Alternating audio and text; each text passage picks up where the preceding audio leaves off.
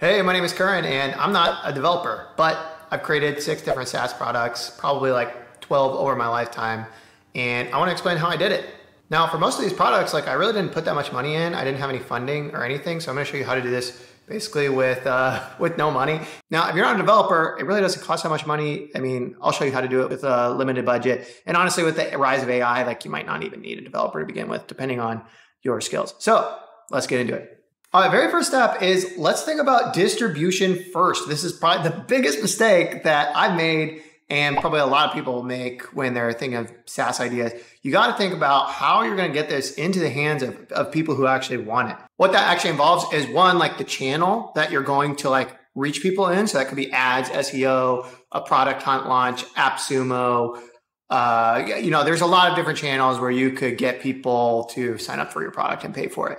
So you got to think through the channel and then also like, how are you going to sell this? Because there's a lot of different SaaS products out there today. So you need a little bit of a tweak in your differentiation to say, here's why you should buy this compared to like do using something else or like using something that's free or something like that. So you got to think through both of those things, how you're going to get it into people's hands, and then also like how you're going to sell it in terms of differentiation and what's your little twist on whatever your idea is.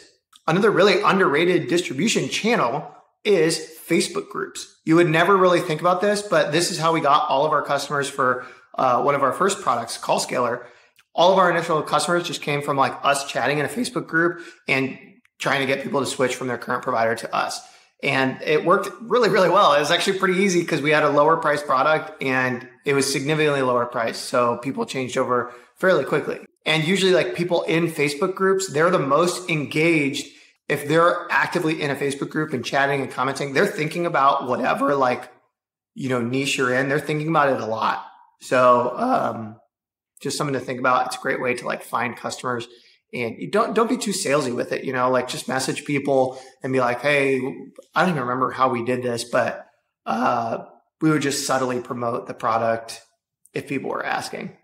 Second thing that we want to look at is like the idea itself. Is this possible? And like, is this a good idea? Now, this is something that is typically kind of hard to give advice on, but I have some interesting notes that I can give you. So one, is there an API that you can find and you can put like an interface on top of it? And if you don't know what an API is, the easiest way to explain it is like someone else's code base, you can leverage it with an API.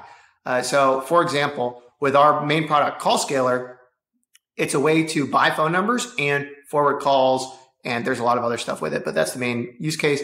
So basically, when we're buying a phone number or when we're forwarding a call, both of those are processed by a third party API that actually handles everything in terms of buying phone numbers and forwarding calls. So it's like we're not writing all of the code to like you know, talk to different network carriers and like actually forward the stuff. We just basically send one little snippet of code to this API provider and then they actually do the forwarding and everything for us. So it makes your product a lot simpler to create and actually makes it a lot cheaper to create because you can create it like way quicker. It doesn't require as good of a developer. That's one tip is just, is there an API that I can find that I could just put like a UI on top of. And one, one way you could look at this is go to rapidapi.com. They have a ton of like APIs. I would make sure that it's like, you know, a reputable one first, but uh, you can find like different ideas. I'd be like, okay, can I put like an interface on top of this API and let people use this API without having like no code or anything? So that's one way to come up with ideas.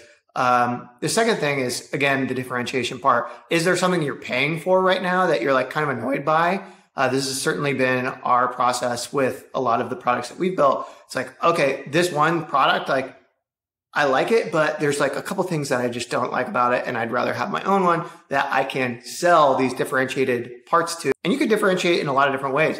Like one of the nice things about launching on a marketplace like AppSumo, which is basically lifetime deals for software products, is you have inbuilt differentiation to start with because the pricing model on AppSumo is you pay once and you get access forever. So uh, that is the nice thing about AppSumo. You have kind of inbuilt dis- differentiation, but you still probably want to create like some feature differentiation as well. So when you're coming up with an idea, look at what you use. Maybe come up with maybe look at uh, APIs that you could put an interface on top of. Um, yeah, come up with like a cool little idea and probably just try to do something super simple at first. Like with CallScaler, all we did at first was find a way to buy phone numbers and forward them. Now it's a way more robust product, but at first that's all we did and we did it at a cheaper price than our competitors and we got a bunch of users that way. Okay, so you thought about your distribution, you thought about your idea, maybe you have an idea already. Now, how do you actually execute that and make it happen that on a budget or without a budget at all? So I'm going to give you my way I do this. It's not the perfect way. There's a million different ways to do everything, but this is how I do it.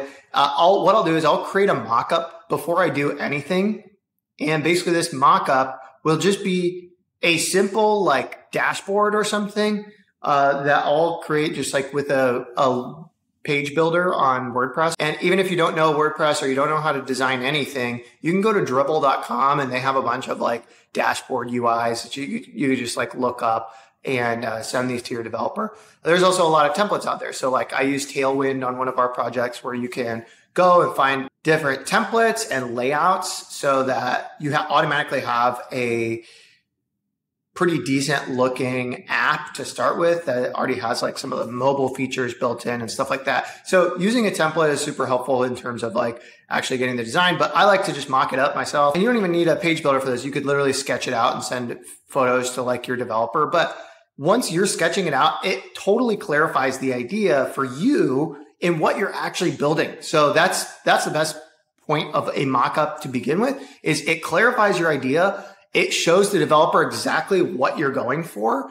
And so that's really, really important in terms of saving time in, in the development process and stuff like that. So that's step one. Step two is finding a developer or using AI to build it. Like if it's a super, super simple product, like we've done this with WordPress plugins and stuff, um, you can ask AI to build it for you you're going to end up doing a lot of testing and stuff and you might not know like what's happening.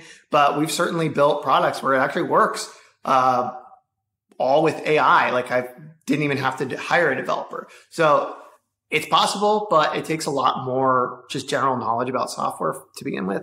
And then also um, you can't do as complicated of products. Like unless you know what you're doing in terms of development it it's a lot harder to do that only with AI. But maybe that'll change in the future. I, I'm like feeling pretty bullish on AI generated software. I think it's going to be huge in the next like three, four years. Might even render SaaS useless. So who knows if this video is even worth it. Okay, let's just assume that you're going the developer route. You could probably do it. If it's a simple product, do it for like three grand, two grand.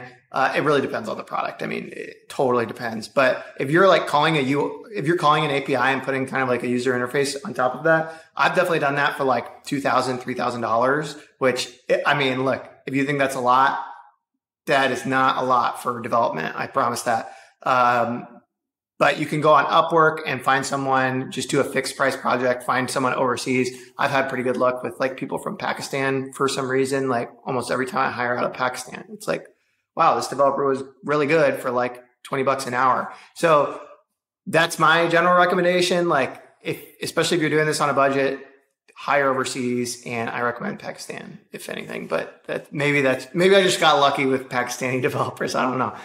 But I like doing a fixed price project to start with. That way you know exactly what you're paying for and just be like, okay, look, I'm doing a bare bones MVP. Please make this like just work and we can clean it up later. That way it lets you like get the product out.